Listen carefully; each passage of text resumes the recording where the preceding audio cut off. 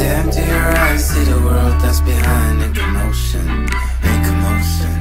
And it's just about time to follow that worry line to the coast and into the ocean, hoping.